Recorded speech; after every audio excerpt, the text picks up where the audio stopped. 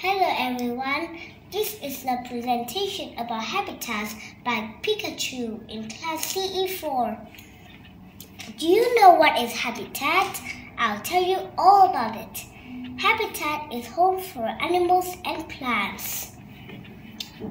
Some of them, like desert, never rains. That was, that's why it is hot and very dry.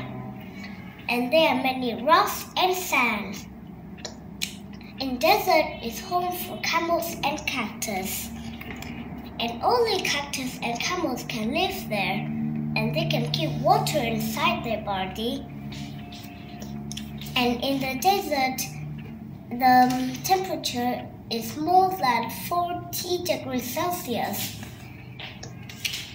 And in polar region, as many ice, water, and snow. It is home for polar bears and penguins. In South and North Pole are too cold for trees. In North Pole, there are polar bears and Santa Claus. Santa Claus and polar bear have very thick skins, and that's why they, they can live in a very cold place. In South Pole, there are penguins and fish.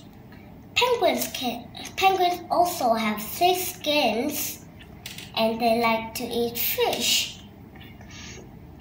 And in in the polar region, the temperature is minus 40 degrees Celsius or maybe less than. Thank you for listening. Bye bye.